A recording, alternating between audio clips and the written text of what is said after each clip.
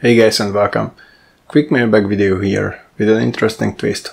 So first of all, you probably know that I pretty much consider Banggood the safest option to buy electronic parts and that's okay because I have like 100% positive experience with them. No, they are still not sponsoring me or something like that. It's just that I'm extremely satisfied so far. Anyway, there's always the chance that uh, something is not available on Banggood because it's not in stock or they just simply don't sell it or the price is not right because let's face it uh, they're not the cheapest option.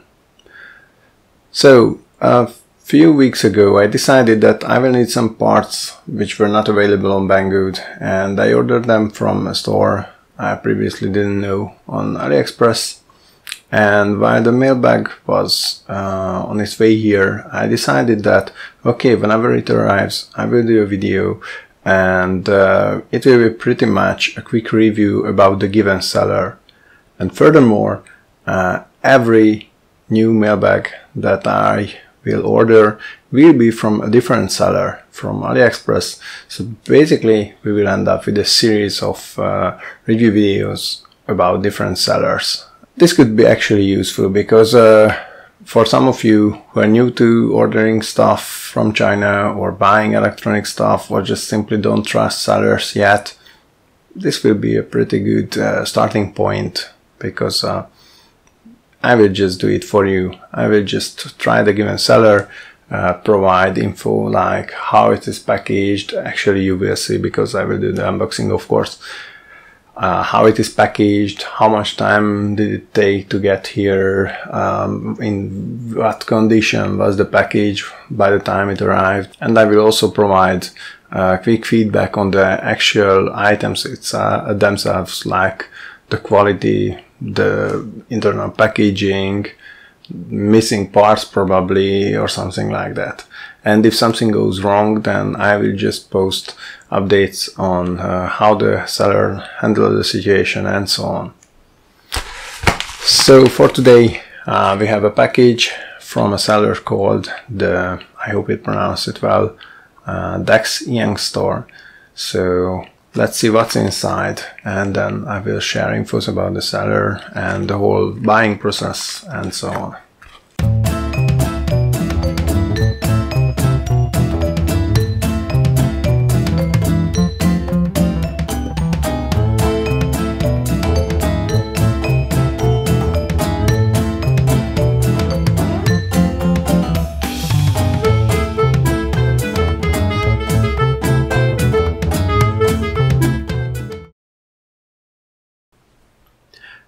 So these are the contents of the package.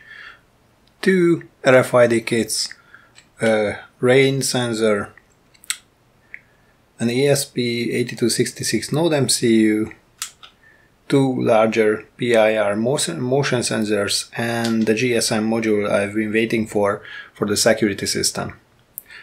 As you can see, these are all packed inside anti-static bags, so kudos for that. Banggood doesn't do that they just pack some of their stuff but this is all packed. So looks real nice and I can't have a bad word for packaging. Now about the contents.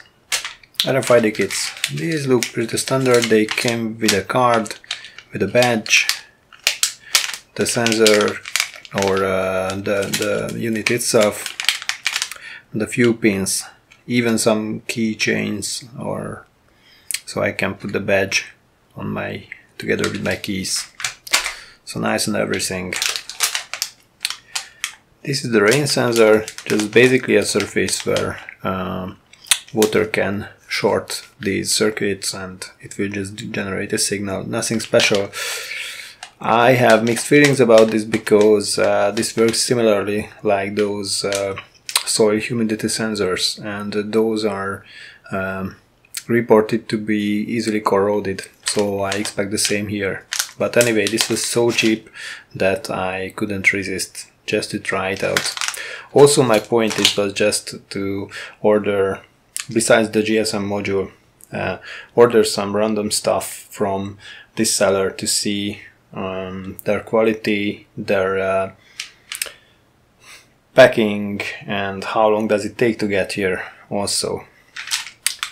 These are those larger PIR sensors I want to experiment with because uh, for the security system the current ones are while, while uh, normally and properly working they have a limited range and I really want to try out these as uh, this style of PIR sensor reported to have a larger range. Anyway, we will see. This is the GSM module. Um, it is for accepting a SIM card and uh, you can uh, drive it with uh, telnet-like commands and stuff like that and uh, you can initiate mobile stuff like sending SMS. This will be an integral part of the security system. And finally the last thing is this. So this is an ESP uh, 8266 node MCU and it has all the usual stuff. It has a nice quality PCB or at least nice looking all the pins as usual, USB port, whatnot. But let me show you something.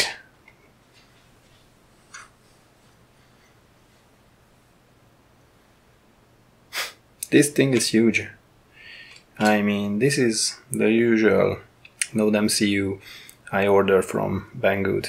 I have a lot of these. Use it for various projects. And this is the one I ordered. This was actually a lot cheaper. But still, what the hell. This is larger than an ESP32. Uh, also, as far as I understood the documentation, it has uh, a different uh, chip for USB connection, So probably we will need a different uh, driver uh, for Windows. Anyway, try it out and if any of these will not work, I assume them to be working because they are really simple components. But uh, if any of these do not work, then well, I will have a word with a seller or two. Okay, Yeah, this thing is huge. Sorry, I cannot get my head over this. This is just funny. It's nice looking and all, but still huge.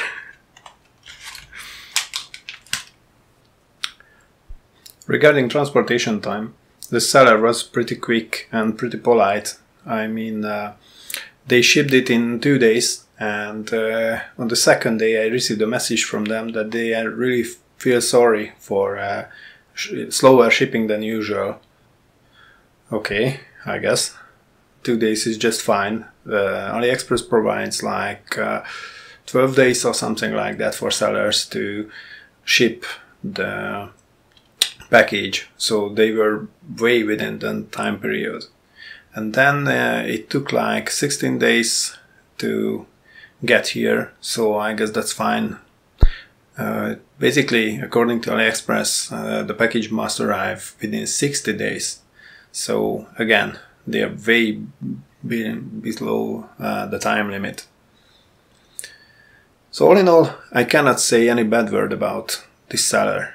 I mean, unless the parts start failing, the packaging was fine, the price was damn fine, the transportation time was fine. They were polite. They have uh, excellent reputation. They've been open for like four years, I think, and they have an exquisite collection. I mean, a lot of stuff when it comes to electronics. So I will definitely buy more from them. So that's it. We are almost done. But uh, I decided that I cannot really uh, suggest a store without at least trying something. So I quickly hooked up that huge uh, Node MCU with uh, a random sensor that I uh, had on my desk. It was a DHT11 and uh, uploaded a sketch. And uh, it was an interesting turn because actually the device, let me show this not sure if it is visible to the camera, but let me read it anyway. So it says, point one, install the CH340G driver. Okay. And turned out I didn't have to uh, install it, probably because I had it, but it's a pretty common driver. You can get it from the internet anyway. Then point two, use 9600 uh, sorry uh, bps baud rate for whatever reason then connect to Wi-Fi which in this context didn't really make sense but whatever I think it means that uh, this is a Wi-Fi capable device which is of course true okay so I had, didn't have to install the driver but let's assume I had to uh, then uh, I connected to my PC via the USB cable and it did connect successfully. Uh, the device appeared in uh, my Arduino IDE instantly. I used uh, the DHT11 uh, DHT libraries uh, example called DHT tester and uh, I set up the pin which I connected the sensor to then uploaded the sketch with the usual settings I used my node MCUs and it's working and it's fine. Let me show you a screenshot about that. Okay, so at least this one is working. Given that the, the other parts are pretty simple, except the GSM module, I decided to not do any further testing and just, uh, just assume that they are working. And uh, regarding the GSM module, we will see it anyway because uh, the next part of the DYI security system will be about that one and setting that up for notification and stuff like that. Okay then, so basically that's it. And uh, thanks for watching this video guys.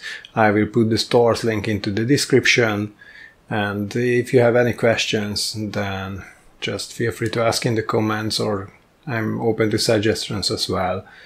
And uh, I hope you like this video and I hope you to see you next time. See ya.